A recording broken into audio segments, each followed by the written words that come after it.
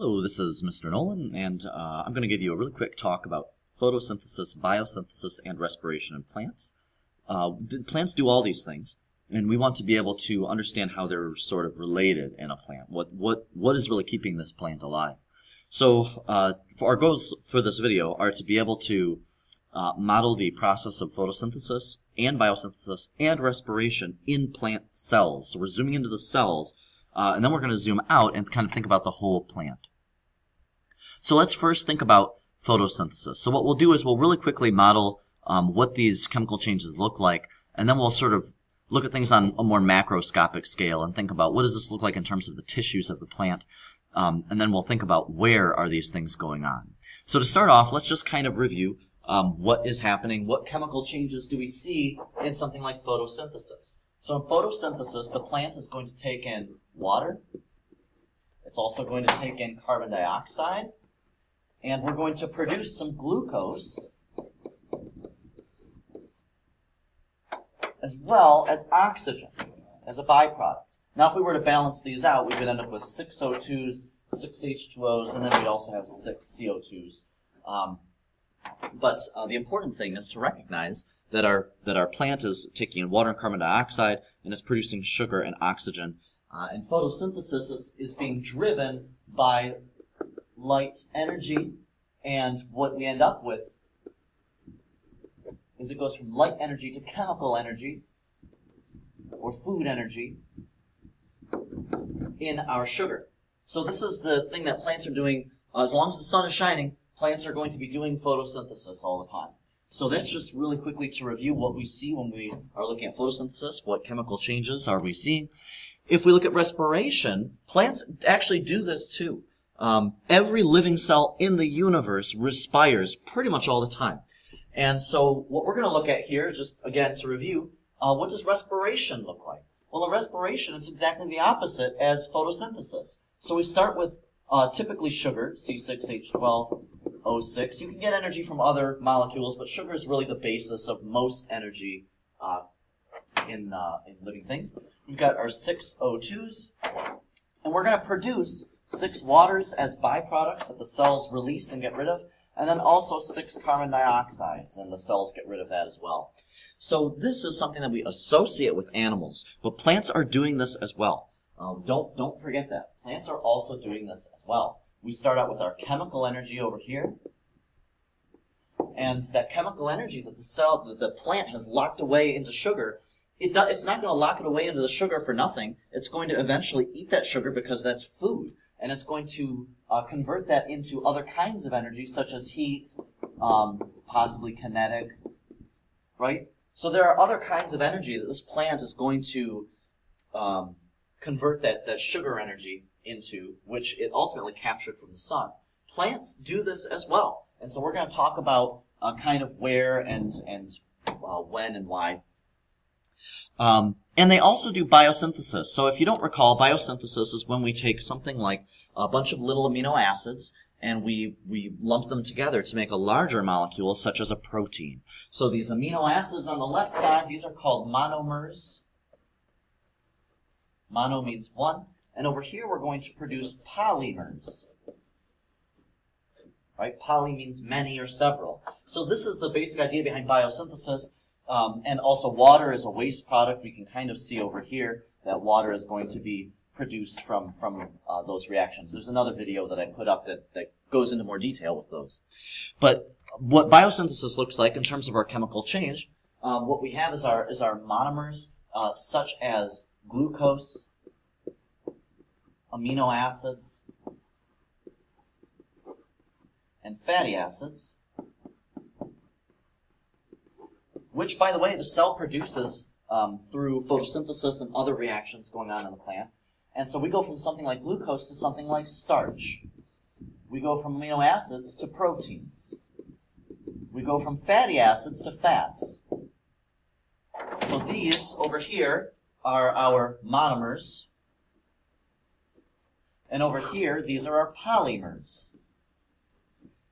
Just a really quick reminder of, of what these chemical changes look like. We're building larger molecules here. There is energy involved. I'm not going to talk about how energy is involved. Um, it's really chemical energy all the way.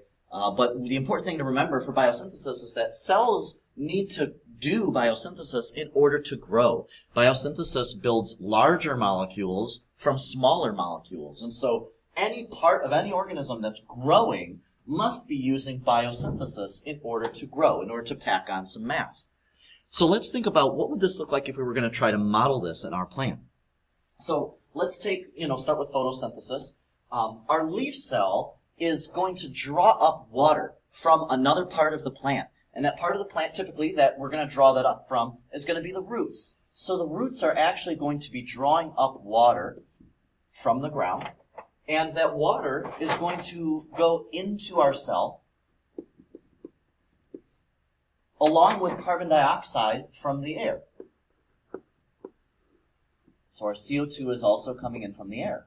So these two substances, carbon dioxide from the air and water from the water, uh, water from the ground, meet in this cell.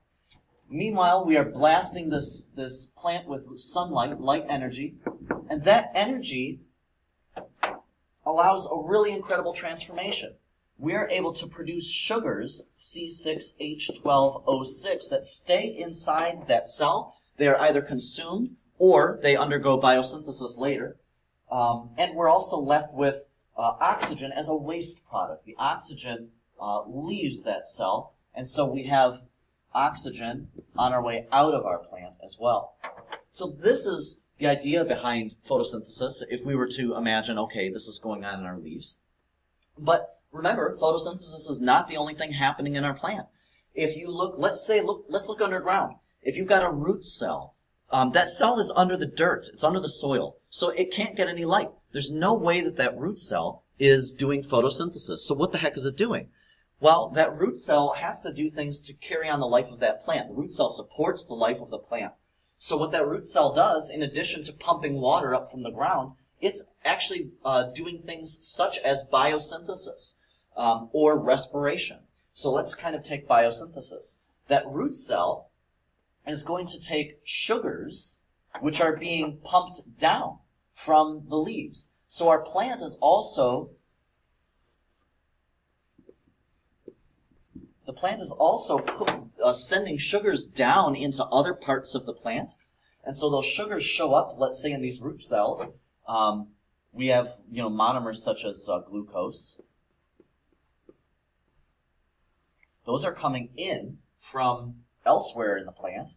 And what we end up with are things like starches. If this were, let's say, a potato plant, those starches would actually be stored in the potatoes. Most people know that potatoes are starchy. Uh, and, and that's where those starches come from. They actually really came from sugars, glucose. And then as a byproduct, we're also producing some water. And this is a little confusing to people sometimes because they think, well, don't plants suck in water? Don't they absorb water? Well, yes, but if water is a byproduct of biosynthesis, some cells must be just producing it and getting rid of it. In the case of root cells of plants, they really don't use water. Um, what they do is they produce it as, as a waste product, both from respiration and from something like biosynthesis. So that's just an example of maybe what a root cell might be doing. Let's say it's doing biosynthesis. Let's jump over to a cell that I've chosen arbitrarily. Let's just say a stem cell. This is not the same kind of stem cell you hear about in the news. I'm just saying a, a, a cell from the stem of a plant. Uh, and, uh, you know, maybe the cell is, is doing some respiration because we ought to know that every cell that's living in the universe must be doing respiration. So in order for respiration to occur in the stem cell, the plant is, with from those sugars it's producing, it's going to pump some of those sugars into um, our other parts of the plant, such as the stem. So we have sugar, like glucose, coming in. And we also, don't forget, we also have oxygen, which is coming in from the air. So not only is oxygen on its way out of the plant, we also have oxygen on its way into the plant in order to support respiration. This cell is going to produce carbon dioxide as a waste product, and it's also going to produce water as a waste product. And meanwhile, it's, it's taking that chemical energy from the glucose and it is, is using that. So whoa, what the heck is going on? We've got our plant that's doing photosynthesis and respiration, and meanwhile it's doing all this biosynthesis at the same time. So this can be kind of overwhelming. So we've got photosynthesis here, we've got biosynthesis here, and then over here, meanwhile, we've got respiration at the same time. Plants do all these things, um, but they don't do them in all their cells all the time. For instance, photosynthesis only happens above ground. It can only happen when you have light. Um, but biosynthesis occurs in any cells that grow, which are any cells in the plant. And respiration over here also occurs in any cell that's alive. So kind of overwhelming, right? There's lots of things that plants are doing. We don't want to simplify them by saying, oh, they photosynthesize. They really do lots of things. They do respiration, they do biosynthesis as well. Which I think might lead us to a natural question. Well, wait a minute. If they're photosynthesizing and respiring at the same time, why do they even produce anything? I mean, if they're if they're producing sugars and oxygens just to absorb those sugars and oxygens to produce carbon dioxide and water, how do they even produce anything? Um, well, the answer is very subtle. You have, kind of have to think about this this question that I have um, down here. Um, which process occurs in plants more? Is it respiration or photosynthesis? Well, if it were respiration, the plant would run out of sugars because respiration, you take sugar and oxygen to get energy out of that sugar. If it were respiration that were occurring faster, you would run out of sugars. And what that means is that photosynthesis and respiration are happening. However, the photosynthesis is what's happening faster.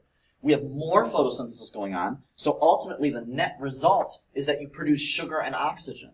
Even though the, the plant is also absorbing sugar and oxygen to respire and use, not to mention create uh, things like uh, starches, um, it is actually photosynthesizing at a faster rate than it is respiring. So ultimately, our our byproducts are going to be um, sugar and oxygen, and then our our uh, net uh, inputs are going to be uh, water and carbon dioxide. So let's just kind of to wrap this up. Let's just kind of think of where are these things going on in the plant. Up here in the leaves, we've got photosynthesis right? They definitely are not happening down below in the roots. But we also have respiration going on.